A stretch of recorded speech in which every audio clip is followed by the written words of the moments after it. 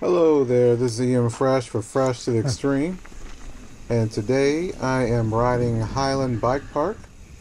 And the trail I'm doing doing right now is called Hellion, and it is a black diamond flow trail.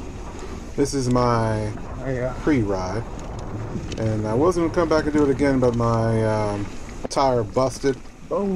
Uh, as you have seen on the end of, I think, a lower uh, hairball, what was it called.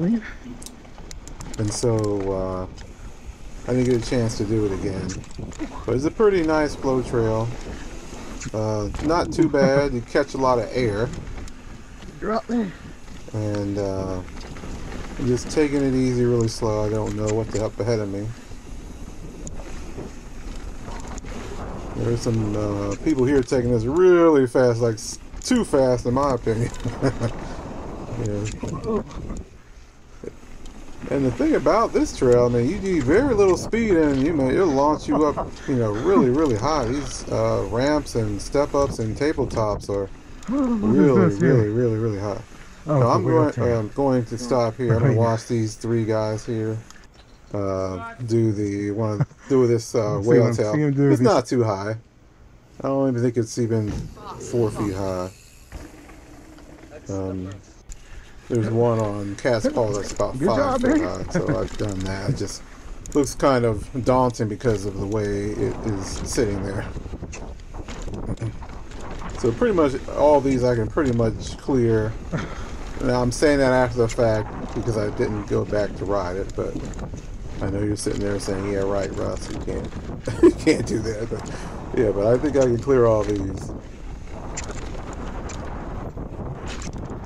I almost do it here. Trying to pick up some speed here.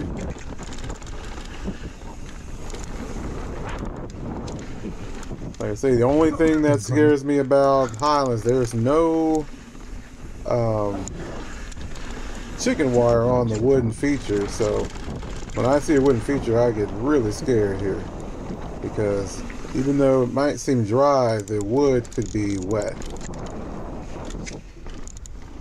Another thing I like about this trail too is the uh, it has a little B-line there, right there on the side.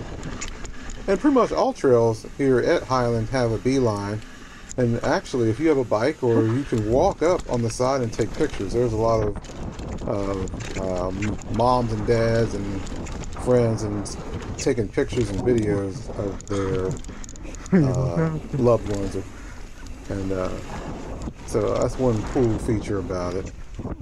So you can actually see what's going on in here. Let's see. It's ready. I think I pretty much got the session dialed in. I'm getting more confident with it. You can see here. I think seeing those guys in Hawaiian shirts pumped me up a little bit. You can see my speeds increasing. I was like, if they can do it, I can do it too. Now right here, uh, I didn't like, uh, I got scared. I didn't know it was on the other side. It could have been like a 10 foot drop or something.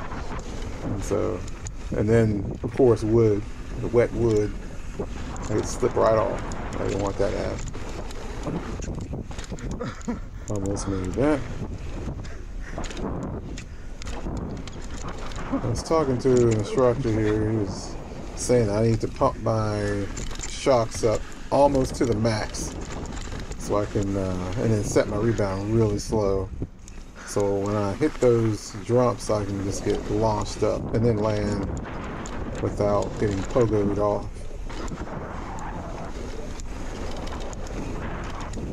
This is a very fast trail.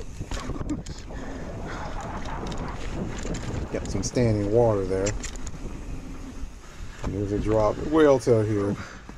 It's not too bad, but there was a gap that was pretty long there. And um, and if you didn't go off, I think the thing is you can just get your front wheel over that, the, the first part of that gap, you're good.